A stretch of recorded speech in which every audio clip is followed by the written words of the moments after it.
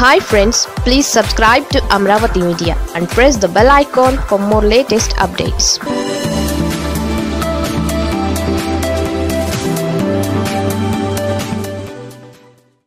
Margadarsi సోదాల వెనుక అసలు plan ఇదేనా? మార్గదర్శి చిట్ ఫండ్స్ ఆఫీసుల్లో ప్రభుత్వ అధికారులు సోదాలు జరపడం సంచలనంగా మారింది. మార్గదర్శి అంటే ఎవరిదో ప్రత్యేకంగా చెప్పవలసిన అవసరం లేదు. మార్గదర్శిలో సోదాలు జరపాలంటే అధికారులకు ఎంత ధైర్యం ఉండాలి? అందుకని సంస్థ పెట్టిన దగ్గర నుంచి ఏ ప్రభుత్వ సంస్థ కూడా సోదాల పేరుతో అడుగు కూడా పట్టలేదు. అలాంటిది స్టాంప్స్ అండ్ రిజిస్ట్రేషన్స్ ఉన్నతాధికారులు చిట్ ఫండ్స్ ఫైనాన్స్ సంస్థలపై హఠాత్తుగా దాడులు చేశారు. ఇందులో భాగంగానే మార్గదర్శి చిట్ ఫండ్స్లో కూడా సోదాలు జరిగాయి. నిజానికి చిట్ ఫండ్స్ సంస్థలు ఫైనాన్స్ సంస్థల్లో సోదాలనేది పేరుకు మాత్రమే. అసలు టార్గెట్ మాత్రం మార్గదర్శి అనే చెప్పాలి. నరేంద్ర మోడీ విశాఖపట్నం పర్యటన ముగిసిన వెంటనే రెండు డెవలప్మెంట్లు జరిగాయి. మొదటిదేమో జనసేన అధినేత పవన్ కళ్యాణ్ వైఖరిలో మార్పు వచ్చేసింది పవన్ మాటలు చూస్తుంటే వచ్చే ఎన్నికల్లో సింగిల్గానే పోటీ చేయడానికి ప్రిపేర్ అవుతున్నట్లే అనిపిస్తోంది.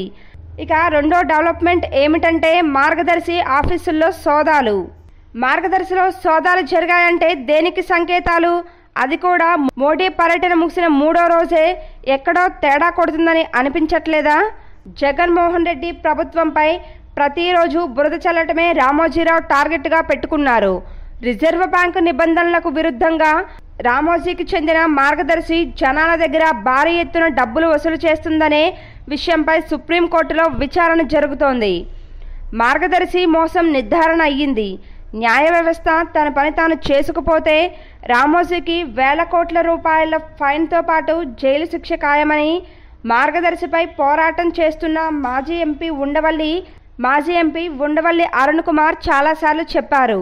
ఇక్కడ విషయం ఏమిటంటే చంద్రబాబు నాయుడు ప్రయోజనాలను కాపాడటమే లక్ష్యంగా జగన్పై రామోజీ బురద చల్లేస్తున్నారు.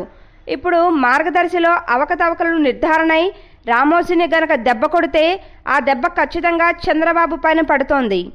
ఒకేసారి ఇటు రామోజీని అటు చంద్రబాబును లేవకుండా జగన్ దెబ్బ కొట్టినట్లవుతుంది.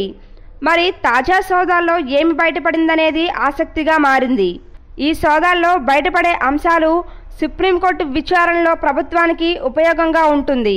మరి జగన్ దెబ్బకు ఒకేసారి రెండు పెట్టెలు పడతాయా?